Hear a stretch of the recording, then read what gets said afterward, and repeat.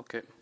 The ram of an hydraulic jack is 100 millimeter in diameter, and the diameter and the stroke are the stroke of the plunger are 20 millimeter and 50 millimeter respectively.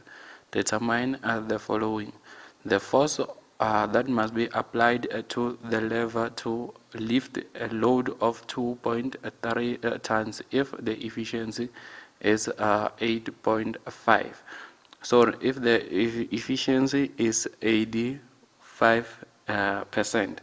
So uh, then our data we have uh, the, the diameter of the ram which is 100 millimeter which we convert into meters which is 0.1 meter. And the diameter of the plunger which is 20 millimeter and we convert it to meters is 0.02 meters. And, and then the, the stroke length so uh, remember the stroke length is the um, the distance moved by the plunger per stroke.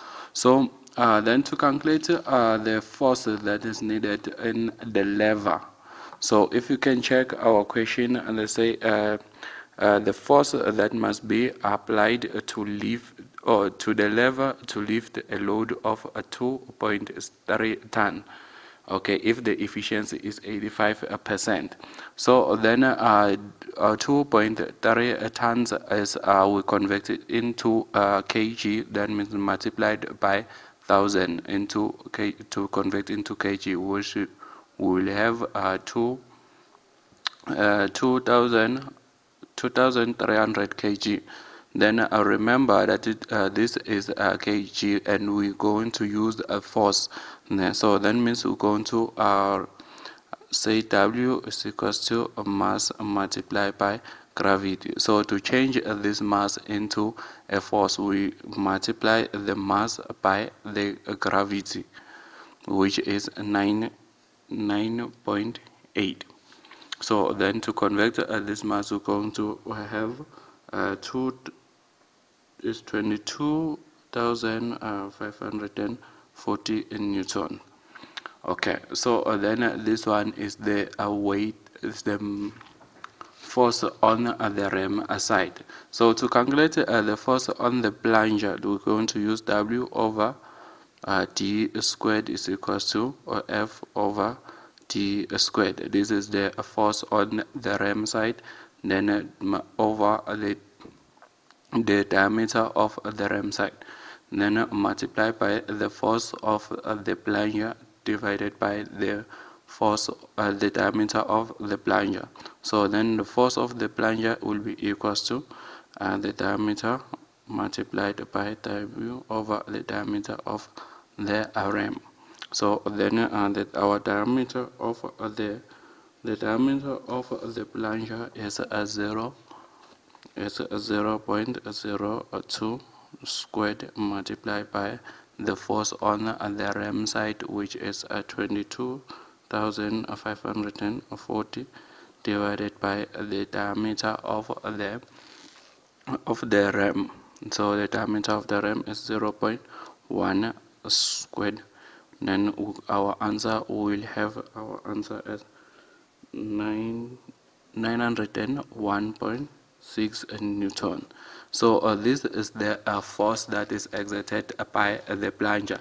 But uh, remember we have the efficiency of uh, 85 uh, percent. Now so that means we have to calculate them the force on the this is the mechanical efficiency. So we have to calculate the force on the on the lever system. Remember our hydraulic uh, jack is uh, like this. So uh, this is the plunger uh, system. If we have uh, the plunger at this side this one is our stroke length which is L. Then we have this force. So now then we're going to have the plunger. Okay so this one is the plunger and then we're going to have okay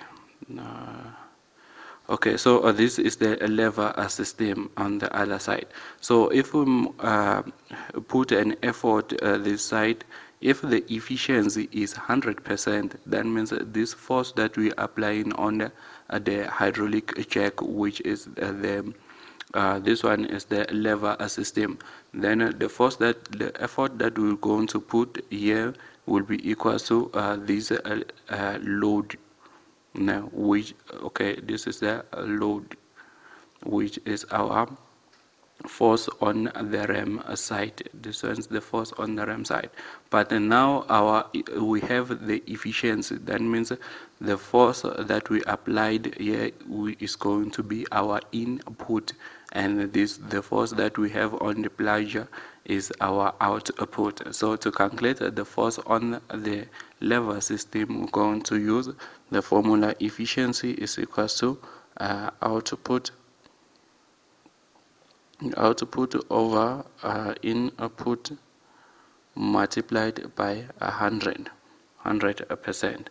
So uh, then uh, our efficiency is 85 then 85 divided by 100 we're going to have 0 0.85 is equals to our output is the force that is is the force on the ram side oh sorry is the force on the plunger side which is uh, this uh, 901.6 so then we're going to have uh, 901.6 divided by our output which is the force the force on the plunger. Oh sorry this is the force on the lever system. Then we cross multiplied then we're going to have f is equals to uh, 901.6 divided by 0 0.85 so then we're going to have the final answer which is our uh, force uh, on the this is the force of the lever.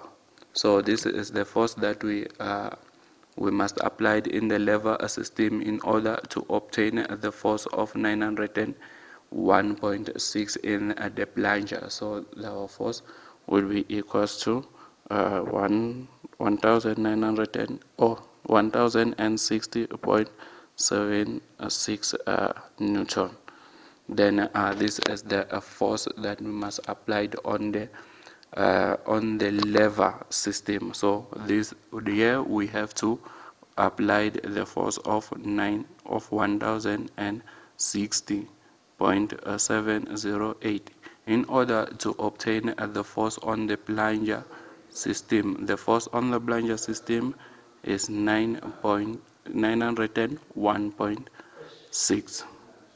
Okay. Okay, so uh, question uh, point two. The number of uh, the number of the stroke in of the lever in. Okay, the number of the stroke of the lever to lift uh, the load of the load uh, to 126 millimeters so uh, the number of stroke we're going to use uh, the formula side the diameter on the, the ram side multiplied by the height which is the distance moved by the ram is equal to the diameter of the plunger multiplied by the stroke length which is the distance moved by the uh, plunger multiplied by the number of stroke. So therefore the number of stroke is equal to uh, the diameter of the plunger multiplied by the height multiplied by d squared multiplied by l so then the, our diameter on the plunger uh, on the ram side is 0.1 uh, squared multiply our height. Now we are given h which is the diameter or oh, h is the distance that must be moved by uh, the ram so which is 126 millimeters. And 126 millimeters convert into uh, meters is 0.126 meters then multiply by 0.126 meters over uh, 0.02 uh, squared multiply by 0.05 then um, okay yeah. So then uh, this one we punch your calculator and you will have uh, the number of stroke as 63 okay then the number of stroke is equal to uh, 63 so in order to move uh, the plunger to move the ram into a to move the ram into a distance of 126 millimeters we have to uh, pump uh, to have 663 uh, we have to okay the, the number of a stroke that we will require to move uh, the plunger the ram into a height of 126 is uh, 63 uh, strokes. So these are 63 uh, strokes. Okay remember to subscribe for more and watch up the next video